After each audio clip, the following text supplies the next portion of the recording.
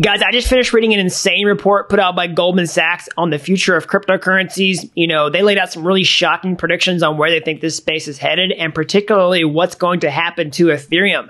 So I want to go over that in this video and offer some of my insights on this as a blockchain developer who works with the Ethereum protocol on a daily basis and also, you know, a cryptocurrency holder myself. So before we get into that, you know, if you're new around here, hey, I'm Gregory. And on this channel, I turn you into a blockchain master. So if that's something that you're interested in, then smash that like button down below for the YouTube algorithm and subscribe to this channel. And if you want to learn how to become a blockchain master step by step start to finish, then head on over to dappuniversity.com forward slash bootcamp to get started today. So Goldman Sachs recently came out and said that Bitcoin is officially a new asset class. We've seen lots of skepticism about this from, you know, large institutions and people who are firmly cemented in traditional finance. And just as this article here lays out, it's taken time for Bitcoin to be taken more seriously as an investable asset class. But this is a huge shift in perspective, particularly for someone as influential as Goldman Sachs. So if you're brand new to crypto, you're brand new to finance at all, just a quick refresher, like who is Goldman Sachs? Well, they're a huge major investment bank in the United States based in New York City. And the bottom line is they're a major player in the traditional financial system. And this type of public acknowledgement for cryptocurrency as being a new investable asset class is likely to have a huge impact on public opinion of blockchain technology and also cryptocurrencies themselves. So this opinion came out right as a leaked report hit the scene from Goldman Sachs that's talking about the specifics of where they think the cryptocurrency space is headed, particularly with Ethereum. And inside of it, they give a strong likelihood that Ethereum can eclipse Bitcoin, which is a prediction that we've talked about a lot on this channel, not necessarily saying it's going to happen, but taking a look at the likelihood of whether that could ever happen or not based on specific factors, which you'll see in this video. And if that does happen, it means that Ethereum will become the dominant cryptocurrency and be in the number one position above Bitcoin on websites like CoinMarketCap or CoinGecko. So here they say, you know, Ethereum is the second largest cryptocurrency has a high chance of overtaking Bitcoin as a dominant store of value, calling it the Amazon of information. So this is something we've also talked about a lot in this channel. And if you're brand new and haven't watched those videos, I'll catch you up on that. You know, people are talking about cryptocurrency as a possible long-term store of value. You know, we're, we're in ex- we're experimenting with that hypothesis right now to see if cryptocurrencies can even become a store of value at all. And there's, you know, some camps that say, hey, Bitcoin's the best store of value because of its capped supply. Some say, no, Ether is a better store of value because the long term issuance model for ETH actually makes it more scarce and, you know, supports network security long term. And then on top of that, you have all this extra stuff you can do with Ether, like stake it, use it in DeFi, which you can't really natively do in the Bitcoin network. So we'll, we'll see more of that come up here in a second. But that's what they're talking about the debate on store of value, which one's better, Ether or Bitcoin. And they weigh in here and say that they see Ethereum as having a really good chance of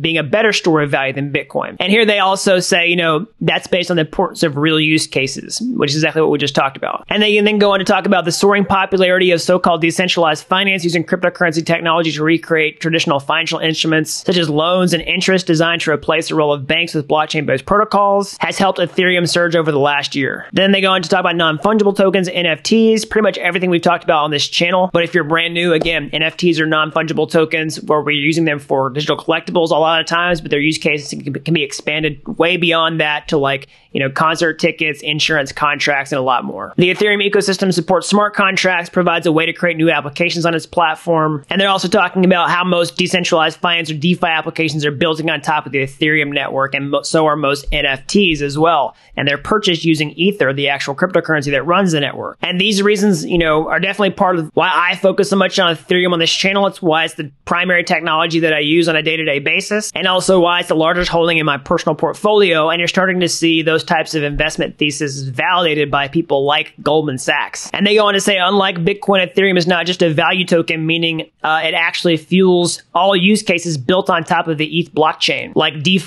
NFTs, and decentralized applications. And by contrast, Bitcoin is simply a value token. And so as I go over this article, you know, this is really bullish in my opinion because we're seeing things that we've been saying from this YouTube channel for a very long time echoed by people like Goldman Sachs who are saying, yes, we see the same things and we're actually publicly saying that cryptocurrency is big. It's a new investable asset class. And we see this Ethereum thing having a really strong chance at overtaking Bitcoin and actually being the front runner in this entire space. It's exactly what we've been talking about this YouTube channel. And so if you've been watching along, then, you know, of course, it's not financial advice, but you've been able to essentially front run a massive opportunity. Get in the game before major players do. Because when you see people like Goldman Sachs come out and say this type of stuff, it's very influential on people with lots of money and people with lots of money can move the market a lot more than a lot of smaller individuals can. And one reason for this is just like social proof and authority. Okay. So, you know, think about, you know, what do you do? A lot of your behavior is really just based upon what other people around you do. It's not really a bad thing. It's just a mental shortcut that you use called social proof. So you have to think about every single decision and analyze it. You say, oh, what's this person doing? Well, it seems to work. I'll just do the same thing people do that their entire lives. And as people get farther up the ranks, you know, they become wealthier. They still look around them and say, Hey, what do other wealthy people do? What do people in positions of authority who have made us money? What do they do? Well, they say this crypto thing and they say this ether thing. Well, I guess I'm just going to listen to them and do that. Now, of course, people who have become really wealthy, well, many of them are going to be discerning, but they're going to look at stuff like this and say, Oh, it's not just total BS. There's actual lots of use cases behind this. And there's lots of reason to actually hold the cryptocurrency in the first place because value can accrue to it. And one of the reasons I'm so really bullish on cryptocurrency the long term, and I don't see the use cases going anywhere, I don't see the technology going anywhere, is because there's a ton of actual utility value on the Ethereum network itself, and that can translate into the price of Ether and other Ethereum based assets going up over time.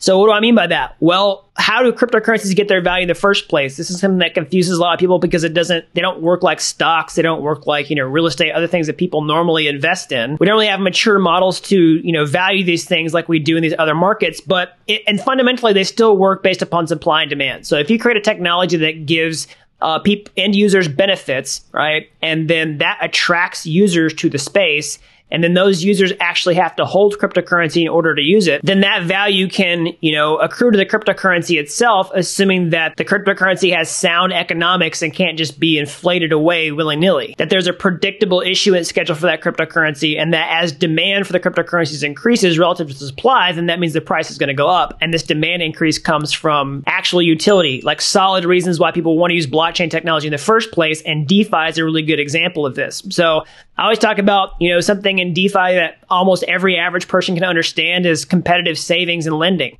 uh, really just competitive savings rate. Probably let's just start there. So it, most people have terrible interest rates in their bank account for their savings accounts, like a fraction of a percent. All right. But with DeFi, you can get savings rates that are closer to 10%, sometimes even more on stable cryptocurrencies whose price don't change. And so you show them this benefit, that's all they really care about. They don't actually care about what's going on behind the scenes with the technology itself. As long as you say, hey, you can get a better interest rate here, then that attracts the users. And then that also drives demand for the technology can make the cryptocurrency prices go up because there's all this automation on the back end with DeFi that allows these, you know, benefits to be created for the end user themselves. And because this is a supply and demand model, then the demand for this cryptocurrency is going to increase based on this utilization, and that can cause the cryptocurrency prices to go up. And that's why I'm so bullish on this space long term. That's why I'm so bullish on the Ethereum ecosystem in particular, because it's the clear leader in this space in terms of actual adoption. You know, we're at a, currently an all time high for the number of active addresses on Ethereum. Sure, the gas fees are high, but it's a problem that's being actively worked on, and the gas fees are actually a reflection of the demand for the network. That's the reason they're high in the first place, because the gas fees are also a supply and demand model. They're high because people want to use the network for all these benefits that I talked about in this video, and also, of course, this financial speculation that's going on with cryptocurrency right now. But this has definitely captured the institution of people like Goldman Sachs who have come out and made these public statements about cryptocurrency being an investable asset class, as Ethereum being a clear leader in this space with a ton of upside potential to overflip Bitcoin. And that's the other thing about smart money is that when they see something that appears to be undervalued relatively to something else, then they see that as a massive opportunity to jump on that. And of course, we've been saying that on this channel for, you know, months and months and months now, but they're the ones that are going to say, okay, that's the train I want to bet on because of the risk reward scenario. If it has a much higher upside than Bitcoin does potentially, and it's a solid bet because of everything that's happening on the platform, well, that's probably where a lot of money's going to go. So that's all I got for today. As always, smash that like button down below for the YouTube algorithm. Subscribe to this channel if you haven't already. That really helps these videos out so the more people can learn about blockchain. If you're as fascinated with this technology as I am, you want to get your hands dirty, how can you get started today? Well, you can go to my YouTube homepage. You can find my free courses there. They're like Udemy courses, but they're totally free. And if you like those and you want to take the next step, or hey, maybe you want to take a massive shortcut entirely, actually I become a blockchain master step by step from start to finish over at dappuniversity.com forward slash bootcamp. You don't have to be an expert to get started today. I've helped people with zero coding experience become real world blockchain developers in a matter of months. So that's all I've got. And until next time, thanks for watching Dapp University.